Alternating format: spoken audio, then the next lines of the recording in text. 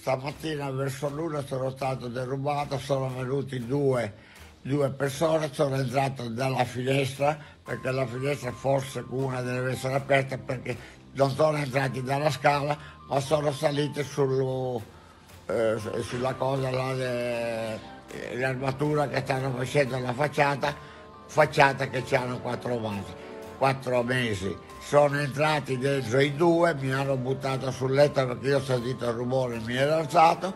Questi signori mi hanno buttato sul letto mi hanno dato un sacco di pugni, mi hanno legato le mani, mi hanno legato i piedi e la bocca che io non potevo manco respirare e, e mi hanno chiesto che di avere i soldi.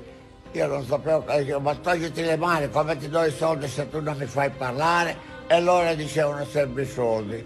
Arrivato a un certo punto uno mi chiedeva, mi ha stretto, mi ha legato i piedi, mi ha legato le mani e quell'altra è girata per tutte le camere per vedere se c'erano soldi.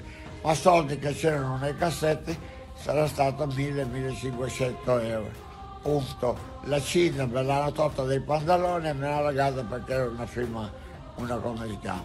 Nel frattempo una vicina di casa che l'ho chiamata più volte ha telefonato ai carabinieri perché io il telefono non ce l'avevo più perché avevo tre telefoni e me l'hanno rubato. E allora ho chiamato i carabinieri che poi sono venuti.